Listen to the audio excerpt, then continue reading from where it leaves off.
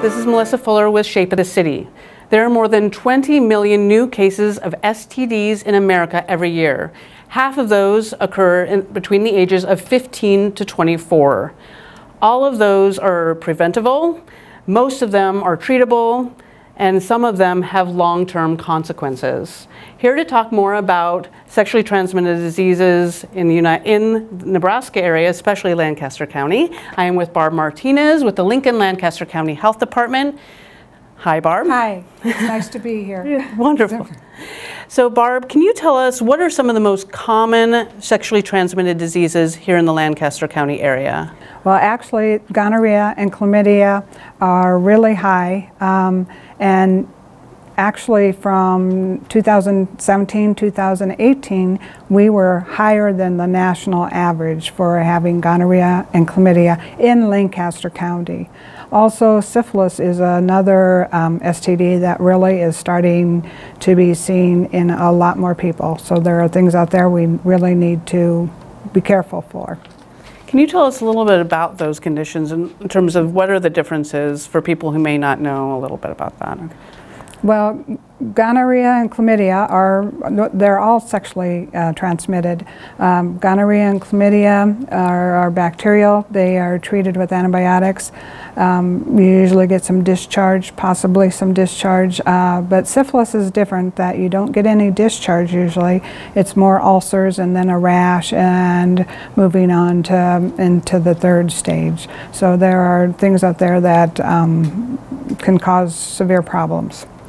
What would you tell our viewers about the importance of being tested, or maybe they have a, a loved one that they feel should be tested? Uh, it's very important to be tested. The myth is that I would have symptoms if I had an STD or sexually transmitted disease. No, you don't have to have symptoms, uh, or if you do, they can be really slight, come and go. You just ignore it. Um, maybe with the syphilis, you see a little sore, but it, then it's not painful, it goes away. Um, so you just ignore it. So the thing is, if you're having sexual relations and not using condoms, um, having some risky sexual behaviors, then you really should be getting checked. So, what are the best ways, and some of this may seem like common sense, but what are the best ways to avoid sexually transmitted diseases if you are a sexually active person? Well, first and most, um, know your partners your partner or partners, um, use condoms. Use condoms for every site that you might have sexual contact at, meaning oral, vaginal, or rectal. Um, you can have you can use condoms for one site and not the other, and then you get the STD in that site where you didn't use a condom. So the most important thing is to know your partners, limit your partners, and use condoms. What are the main factors you're hearing that are keeping people from getting tested? I think um, part of it, especially in the younger group, is that it's not going to happen to me. I mean, I'm invincible, um, and that I'm okay. You know, I don't have any symptoms, so why should I get checked? Um, why do I come in? Uh, sometimes it could be cost, but um, we work with them here at the health department with that. Um, sometimes they don't want to go to their doctor, their primary care doctor, don't want them to know, or come from little towns. But the idea is you need to be tested, need to get checked. Can you tell me about some of the clinics that are available through the health department? I think you have at least three different clinics. Tell me a little bit about those and how are those each a little different? Okay. Uh, yes, we have uh, STD clinics, uh, what we call them, or sexual health clinics. Um, every Tuesday, 1 to 3, walk in basis. Every Thursday, 5 to 7, walk in basis. And then we just started um, by appointment on Wednesday mornings for STDs. Now that is a comprehensive uh, exam. They come in, they get the blood, they do the urine, um, and then we do a visual exam. The provider does visual exams, and it's a comprehensive testing. Uh, we can even treat for warts if we need to.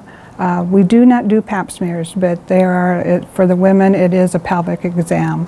Um, and then through our, what we call our express clinic, um, anyone can come in Monday through Friday, come in, drop, um, have a urine sample, give us a urine sample, and we will send that off for gonorrhea and chlamydia.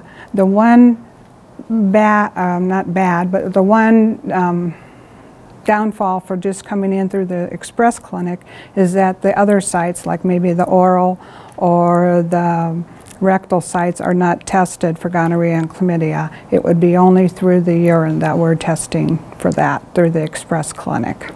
What would you tell a viewer that might be a little more nervous about coming in or concerned about their privacy? Okay. Well, you know, we have the HIPAA laws for privacy. We all are sworn to those. Um, we keep those in high confidence. Um, we only call you by your first name. No records are sent anywhere um, unless you sign a release, if, or they sign a release saying that they'd like their records sent to the doctor, or if they want a copy of their records, we even have them sign a release for that. So we just, we respect that confidentiality and keep it quiet. Uh, where should our vo- viewers go to get both more information on some of the clinics and what you guys offer, but also do you have a place that you recommend people to go to get- have information on sexually transmitted disease, a reliable? place. Also, one more thing before I um, Yeah. finish is that we also do herpes testing. Um, that is um, through our clinics, but you do need to pay for that one, whereas the others, we will work with you a little bit on payment if there's an issue with payment.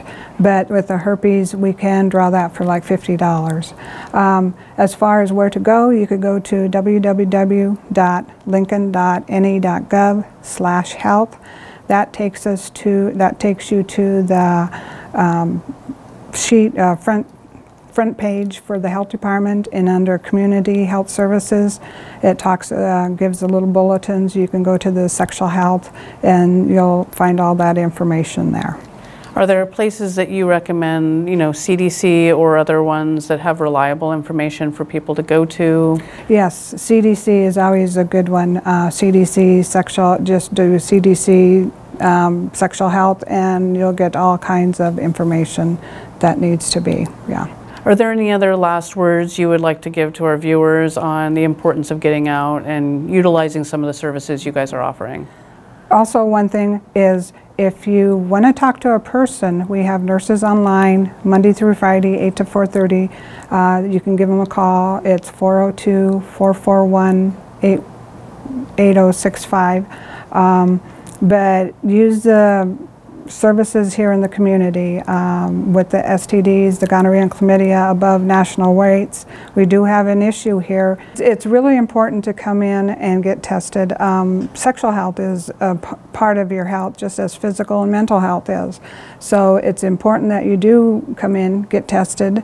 Um, we are here. We are here to help. We are available. Um, so please come on in.